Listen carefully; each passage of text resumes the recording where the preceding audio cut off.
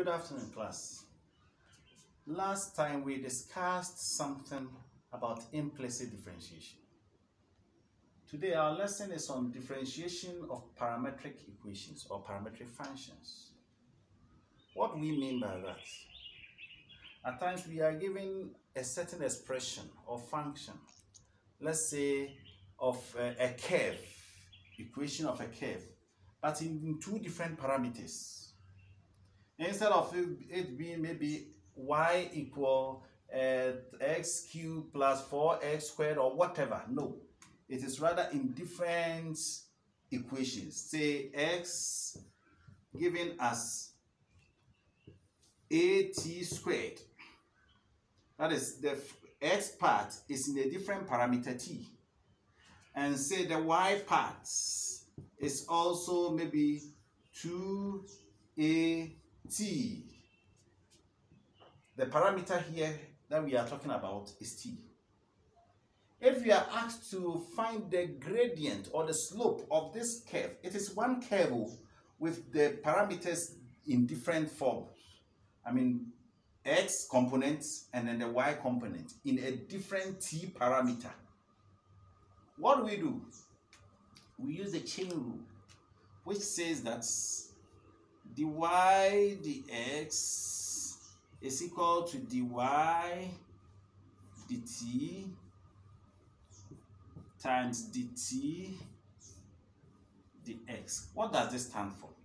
It means you are going to differentiate the y component with respect to t.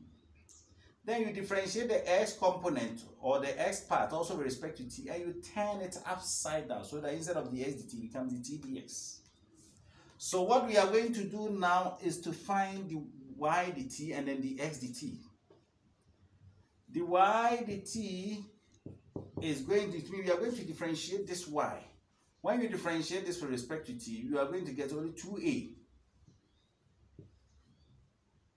Now the x dt, that is differentiating the x part with respect to t, these two will come and multiply. So you get 2a T. But in the, uh, I mean the, the, the formula, we don't have the SDT, we rather have the TDX. So what do we do? We turn the SDT upside down.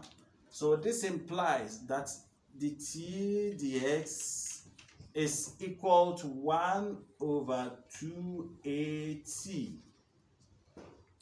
If that is the case, then the y dx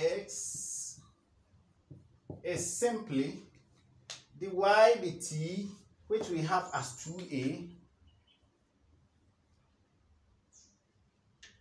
times, let me repeat, you know, I need to write the formula for you to get the understanding so that I don't jump any step.